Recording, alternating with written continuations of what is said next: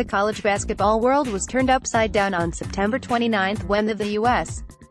Attorney's Office for the Southern District of New York laid out findings from an FBI investigation that uncovered mass corruption, bribery and wire fraud involving some of the sport's top programs. Four assistant coaches were charged with varying violations. Tony Bland of USC, Emmanuel Book Richardson of Arizona, Lamont Evans of Oklahoma State and Chuck Person of Auburn.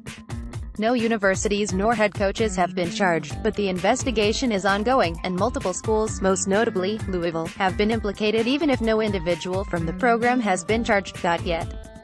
It's a massive story. The U.S. House's Energy and Commerce Committee has even requested a briefing on the matter. First, let's outline who the notable non-coaches named in the various suits are.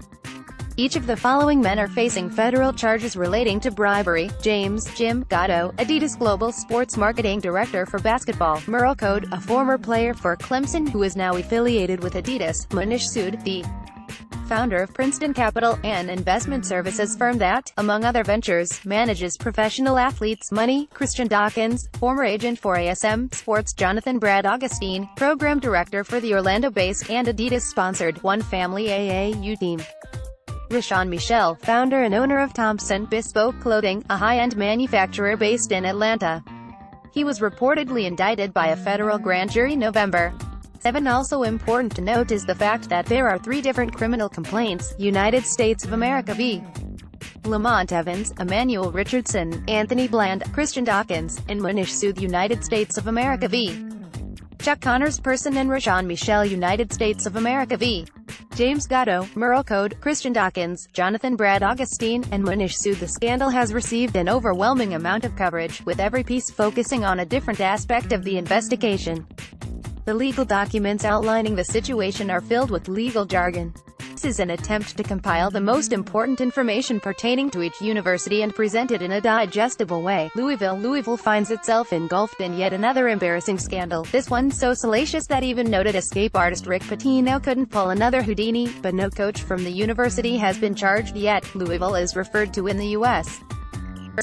James Gatto complaint, though no individual working at Louisville is named what the complaint says, in or around May of 2017, at the request of at least one coach from University 6, Dawkins, James Gatto, a.k.a. Jim, Merl Code, Manish Sood, the defendants and other agreed to funnel $100,000, payable in four installments, from Company 1 to the family of Player 10. Shortly after the agreement with the family of Player 10 was reached in late May and early June, Player 10 publicly committed to University 6, and, later, shortly thereafter, Coach 1 left the room, and Dawkins. AUGUSTINE, UC1 and CW1 proceeded to discuss the Player 10 scheme described in paragraphs 27 to 35, Supra, and, in particular, the involvement of Coach 2 in securing funding from Company 1 for Player 10's family. Dawkins, who had been negotiating directly with Player 10's family, noted that Company 1 had originally agreed to pay a certain number to Player 10's family, but that a rival athletic apparel company was coming with a higher number, such that Dawkins needed to get more from Company 1 to secure Player 20's commitment to attend University 6. Dawkins then said that he had spoken with Coach 2 about getting additional money for player 10's family and informed Coach 2 that, I need you to call Jim Gatto, the defendant, who's the head of everything at Company Minus One's basketball program, based on my review of call records. I am aware that on or about May 27, 2017, James Gatto, a.k.a. Jim, the defendant, had two telephone conversations with a phone number used by Coach 2. What it alleges Gatto, Code and Sood paid $100,000 at the request of at least one Louisville coach to Player 10 to get him to commit to Louisville, have Sood manage his money and sign with Adidas upon entering the NBA. Player 10 then committed to Louisville and has been suspended indefinitely. University 6 is Louisville. We know this because it's described in the suit as a public research university in Kentucky with approximately 22,640 students and 21 varsity sports teams. Louisville's official enrollment is 22,640 and at Fields, you guessed it, 21 varsity sports teams. Player 10 appears to be Brian Bowen, as he's the only guy to commit to Louisville in that late May, early June time frame. Plus, he's the type of five-star who could cost $100,000. The second and third paragraphs is where we see really damning accusations against Pitino. Pitino is believed to be coach too, which means this complaint accuses him of calling Gatto after being told Bowen needed more money. The third of three calls between Pitino and Gatto came two days before Bowen's commitment.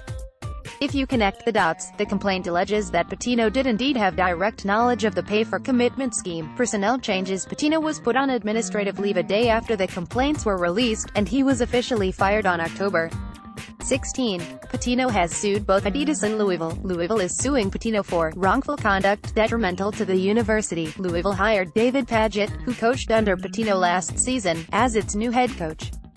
Louisville also fired assistant coach Jordan Fair and placed another assistant, Kenny Johnson.